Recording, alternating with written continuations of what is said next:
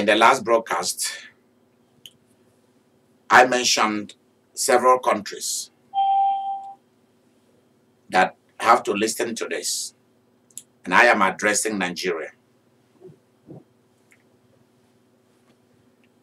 If the Yorubas and the Hausa Fulanis will not allow the Igbos to also become presidents, I'm going to tell you what is going to happen. Igbo land, another part of the southern side of Nigeria, is full of weapons.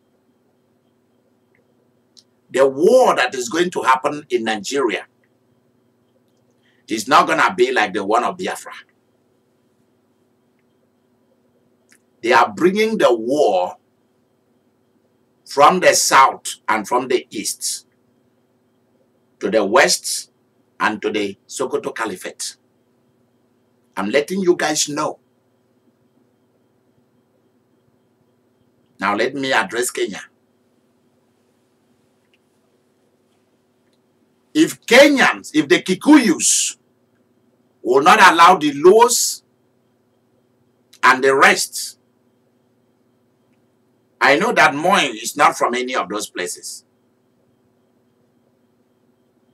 But Kenyans, in order for you to keep Kenya together, to build Kenya, and not to make these people foreigners to live, and no longer invest in Kenya,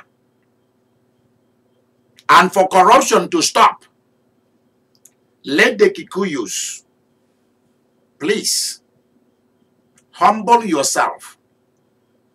Even if you think you are the most educated and you have the most money and you have the political power, if you are going to keep Kenyans, I'm talking about tomorrow. Because there's something bad that is about to happen to Kenya.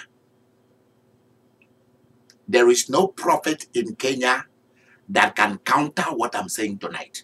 If any prophet try to pray against it, that prophet will die. I'm simply telling you what I've been told. Any prophet that try to counter what I'm saying tonight will pay with his head.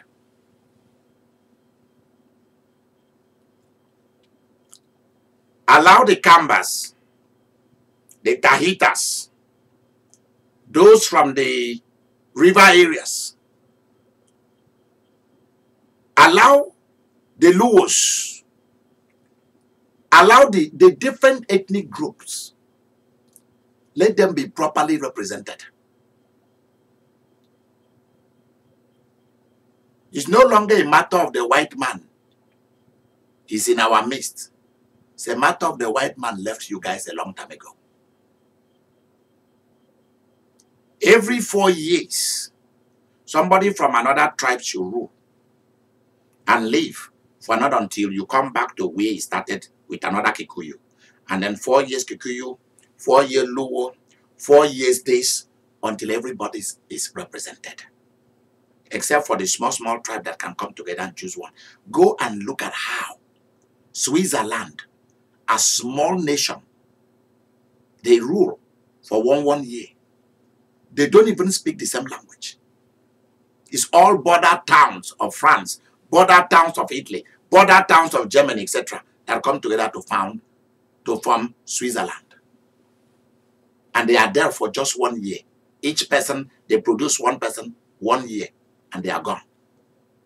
And you are taking your money to go and give to the Swiss people to put in Swiss bank for you. The money you steal from your country, you go and give to people who have knowledge. And they become richer. Because it is coming. It will reach a point where Kenyans will be massacring each other. They will be using guns and machetes. And if you think that you are protected, you are not. Because an evil will be introduced into Kenya that nobody will be able to contend. Not even the army, because the army will betray each other. The same thing Republicans and Democrats are being told. Put your house in order in America, and they are refusing. They are going to pay a price for it. Since after 1960, only the Hausa, Fulanis, and Yorubas have been president in Nigeria. And that has introduced an evil spirit into the nation. Watch it. It's not going to be good for the Yorubas and the Hausa Fulanis. You may think you have the seaport, you have the airport, you have the Sokoto Caliphate, you have the paramount rulers in Yoruba land, and the rest are nothing. They are sons and daughters of those who are nothing are willing to die, and it will not be. It will not be like the Biafran warfare. Because I am aware of the weapons of warfare that has been flown into that nation. If you like, send all your boys to become soldiers. What is about to happen in Nigeria, we've never heard of it. People will shake their heads. We have TB Joshua. We have we have Oyedepo. It's about time that you guys step up and sit up. We have Oyakhilome. We have Suleman Johnson, who tried to say something and you guys tried to kill him. And you guys are going to pay a price for it. There's something bad about to happen to Nigeria that anybody who hear it will be afraid of going to that country. And it's coming because of the stupidities of the Yorubas rulers and leaders and power brokers and the Fulanis and Hausa people. Why can't a Fulani person rule for four years and get out?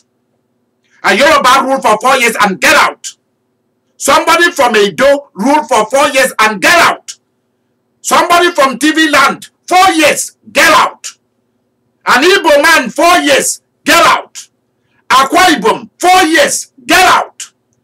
Cross River and Calabar people, four years, get out. Upper Cross River, four years, get out. People from Port Harcourt area, four years, get out. Until it come back. Why? Because you guys have not yet reached a place in civilization where you go for the best.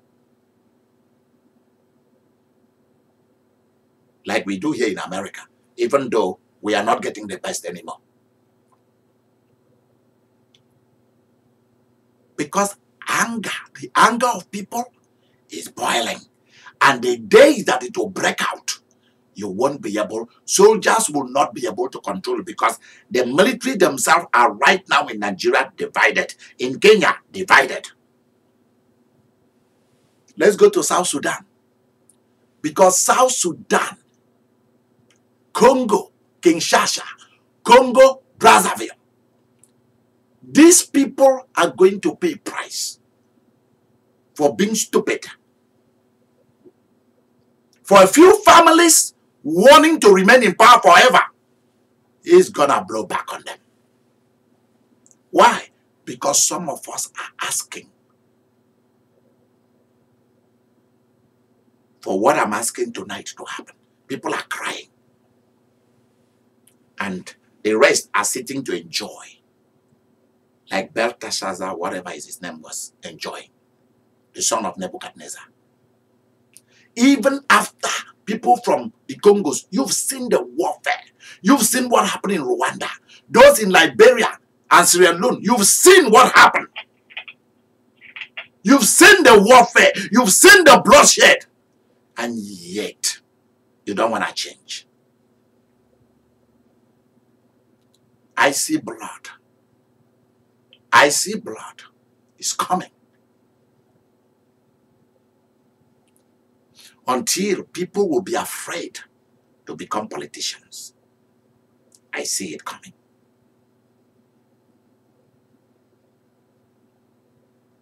I see it coming. There was somebody who was trying to be like Putin and doesn't know how Putin did it and how He has united the people around him. And those of you who try to be like Putin, you fail. Because you don't really know how he did it. And got the people around him. And you also fail to know that Russia itself is divided. Venezuela, you're going to pay price for it. Tonight is a night of the Passover. When the wicked angels, the death angel, the warfare angels passes through the land. They, pass, they are passing through the earth. Because God has had enough of our greed. He has had enough of it. Go and look in Nigeria today, they are having famine. There's no food. People are fleeing from the Congos.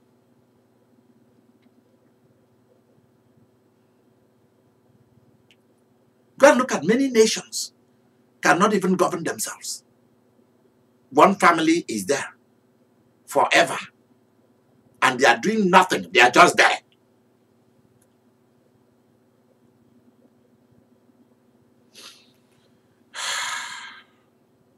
I mean, there are nations where a family comes up and they've done a lot of good things for their people. For example, like the nation of Oman.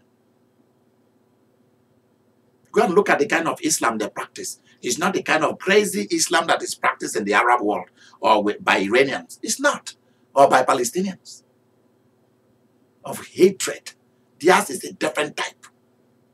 Why don't the rest of the Islamic world learn from the nation of Oman?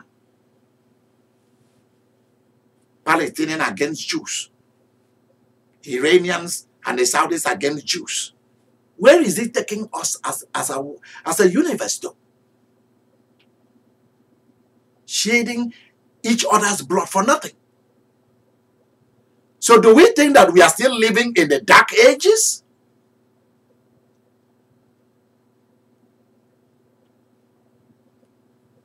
Somebody comes up with scientific theories that will help the world, and for politics, we don't want it. And knowledge suffers.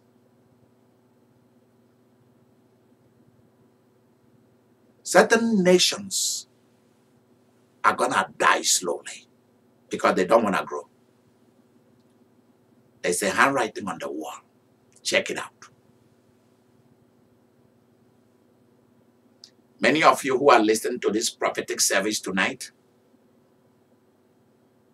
need to rise up to take up leadership in your marriages. Take up leaderships among your siblings. Take up leadership in your nation, in your churches, in your businesses, Ask God to give you opportunities to become nations, to become to become leaders. When people come to you and ask you to be a leader, say yes.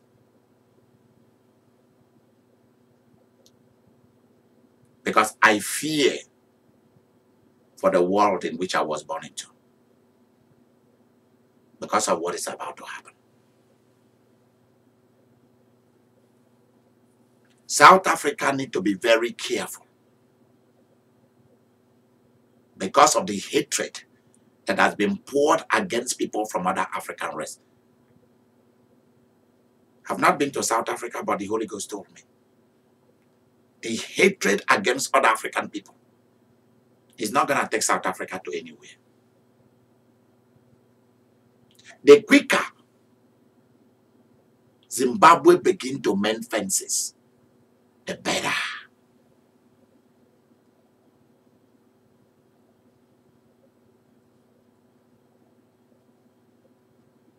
the Almighty God will spare you and I from the trouble that is coming upon the earth, from the judgment that has been released tonight, from the curse of Jotham, and from the handwriting on the wall. That we be spared. Because there are two things that my father told me, and then God confirmed it.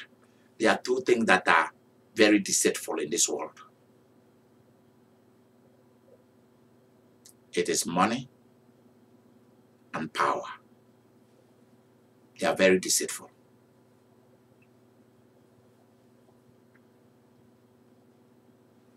So if you want to die because of power and money, you lose out. It's not, it's not a funny thing. If you want to know the prophecy for your nation, if I didn't mention your nation, please call me. And if you think that you've been offended by the way I put things across, is the prophet side of me. I'm just doing what I've been told to do. These are not things that I'm supposed to do. I'm supposed to be taking care of the flock God gave me of my partners. But I have to spend this time for God to have his way. I'm not here to offend you because I don't gain anything out of it.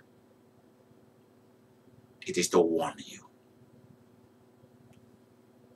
If you will listen and change, then these things will not happen. But if you don't, they will certainly happen.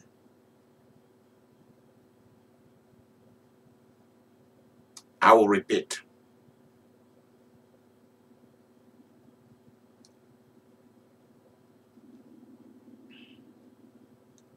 This is a warning.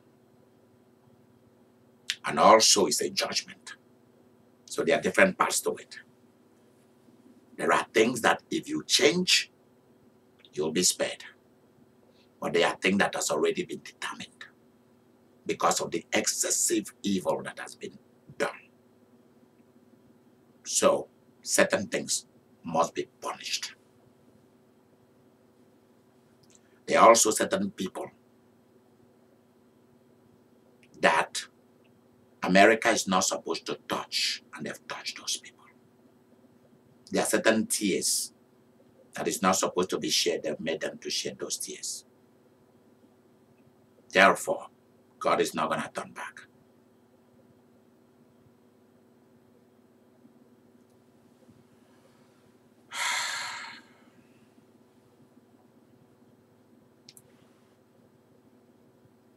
There are certain people that have put their families in the path of punishment and judgment.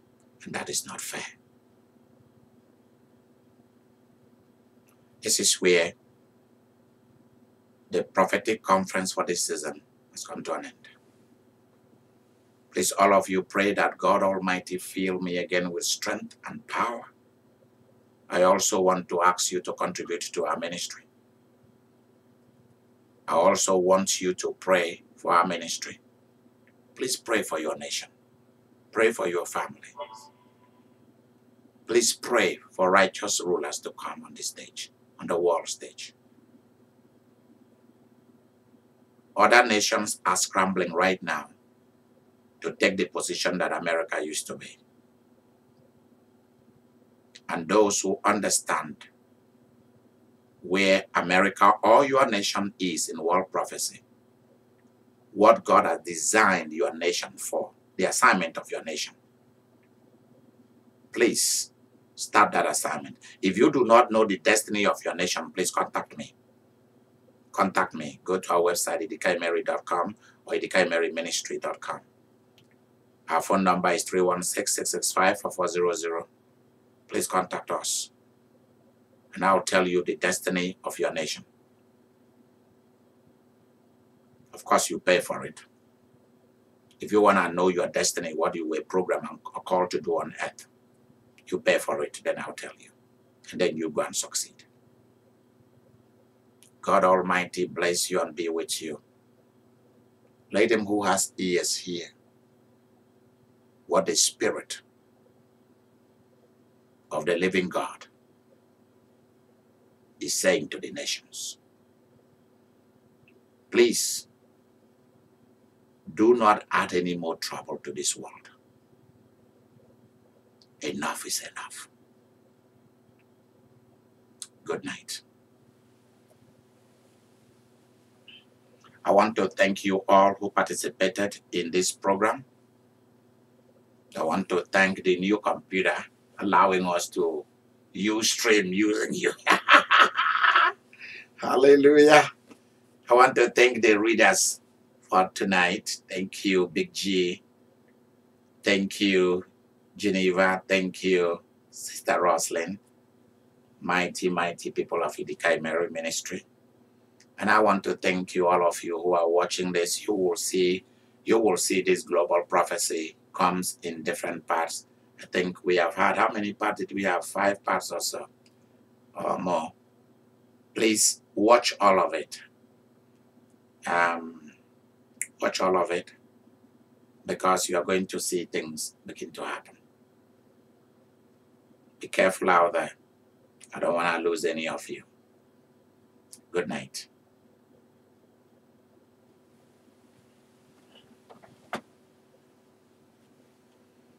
Hmm.